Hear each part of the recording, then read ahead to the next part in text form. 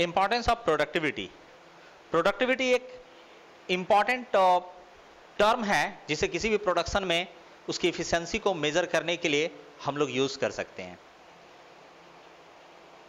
Productivity का बहुत ज़्यादा इंपॉर्टेंस होता है किसी भी प्रोडक्शन किसी भी प्रोडक्शन के लिए, किसी भी ऑर्गेनाइजेशन में। हर ऑर्गेनाइजेशन ये चाहती है कि उसका प्रोडक्टिविटी हाई हो। वो अपने प्रोडक्टिविटी को मैक्सिमाइज करना चाहती है। इसका मतलब ये है कि वो चाहती है कि कम कॉस्ट में, यानी कि कॉस्ट हमारा काफ़ी कम होना चाहिए, यानी मिनिमम कॉस्ट में एक अच्छी क्वालिटी की हम प्रोडक्ट दे सकें मार्केट में, जिससे कंपनी को भी बेनिफिट होगी और कंज्यूमर को भी बेनिफिट होगा। तो प्रोडक्टिविटी को जो प्रोडक्टिविटी है, उसको हम कुछ टर्म्स के थ्रू समझ सकते हैं कि उसका क्या इंपॉर्टेंट है? हम मतलब किसी भी ऑर्गेनाइजेशन के लिए उसका क्या इंपॉर्टेंस है? हर ऑर्गेनाइजेशन का एक गोल होता है कि अपने कंपनी को एक ब्रांडेड कंपनी बनाना और ब्रांडेड बनाने का मतलब है क्वालिटी प्रोडक्ट देनी मिनिमम कॉस्ट पे। क्योंकि अगर कॉस्ट हाई रखेंगे तो हमारा कस्टमर कम हो जाएगा। इसीलिए हम चाहते हैं कि मिनिमम कॉस्ट में एक अच्छा प्रोडक्ट हम मार्केट में दे सकें।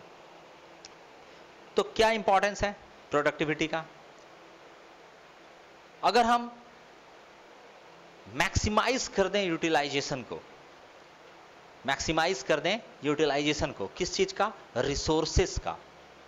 रिसोर्सेस जैसे कि एग्जांपल मैं बताता हूँ, अगर एक कंपनी में बकेट बनाने की मशीन है, एक कोई कंपनी है और बकेट बनाने की मशीन है लेट से मशीन है।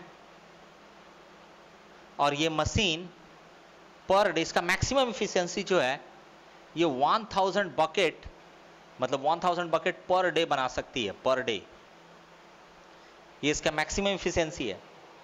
तो हमें मैनेजमेंट को ऐसा रखना पड़ेगा ताकि हम लोग 1000 के अप्रोक्सीमेटली बकेट का प्रोडक्शन कर सकें पर डे अगर बकेट कम प्रोडक्ट कम मतलब कि हम लोग डेवलप सॉरी कम जो है हम लोग प्रोड्यूस कर पा रहे हैं, यानी कि जो उसका मैन्युफैक्चरिंग है पर डे लेट से 700 ही है, यानी प्रोडक्टिविटी घट गई। प्रोडक्टिविटी घट गई क्यों? और सबसे इंपॉर्टेंट ये कि हम लोग मशीन का एफिशिएंसी यूज़ नहीं कर पा रहे, वो machine per day at our work कर सकती है, लेकिन हम सिर्फ़ उसका यूज़ कर रहे हैं कितना?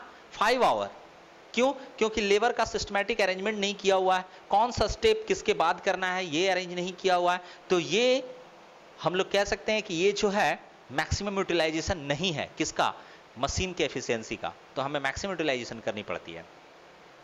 ठीक उसी तरह reduction in cost reduction in the cost of raw material हमें कुछ ऐसा करना पड़ेगा ताकि जो रॉ मटेरियल है, किसी भी चीज़ को बनाने के लिए रॉ मटेरियल की ज़रूरत होती है। जैसे मैंने बताया बकेट को अगर बनाने की बात करते हैं तो डेफिनेटली हमें प्लास्टिक जो प्लास्टिक की बॉल्स आती है छोटी छोटी उसका इस्तेमाल किया जाता है। तो यानी कि इसका कॉस्ट क्या होना, इसका, इसके कॉस्ट को हमें रिड्यूस करना पड़ेगा। हमें रिड्यूस करना पड़ेगा प्रोडक्ट का पर यूनिट मैन्युफैक्चरिंग कॉस्ट अगर पर यूनिट मैन्युफैक्चरिंग कॉस्ट अगर हम लोग रिड्यूस कर देंगे तो डेफिनेटली पर यूनिट अगर वो कम कर दिया जाता है तो डेफिनेटली हमारा प्रोडक्टिविटी बढ़ जाएगा। हमारा जो टारगेट है, वो टारगेट हमें मिल जाएगी। जैसे कि अगर रॉ मटेरियल अगर पर यूनिट कॉस्ट में लेट से हर चीज़ का एक वेस्ट होता है स्क्रैप निकलता ही है स्क्रैप हो जाता है। जैसे कि प्लास्टिक प्लास्टिक की कोई मटेरियल बनानी है, अगर उसमें एक के प्लास्टिक इनपुट दिया गया, और जो आउटपुट निकला, वो 800 ग्राम का ही प्लास्टिक का प्रोडक्ट निकला, बाकी 200 ग्राम स्क्रैप में चला गया that is what that is that is waste तो हमें करना क्या है? हमें उसे रिड्यूस करना है। हमें उस स्क्रैप की जो क्वांटिटी है, उसे कम करनी है। हमें ऐसा टेक्नोलॉजी का इस्तेमाल करना है ताकि स्क्रैप कम हो तो क्या होगा? प्रोडक्शन ज़्यादा होगा। ठीक है? ठीक इसी तरह प्रोडक्टिविटी किसी ऑर्गेनाइजेशन की जो है ग्रोथ बताती है। अगर प्रोडक्टिविटी ज़्यादा है तो उस ऑर्गेनाइजेशन का ग्रोथ ज़्यादा हो सकता है। यानी वो, उसका स्कोप ज़्यादा है।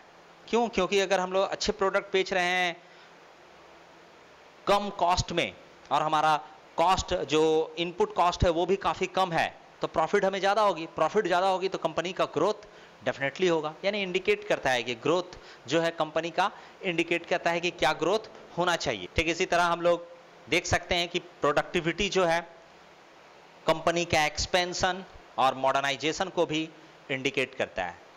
यानी कि प्रोडक्टिविटी ज़्यादा है तो कंपनी का एक्सपेंशन हो सकता है। कंपनी को हम लोग मॉडर्न, एक मॉडर्न वे में उससे कास्ट कर सकते हैं। उसका मैन्युफैक्चरिंग का तरीका को हम लोग बदल सकते हैं।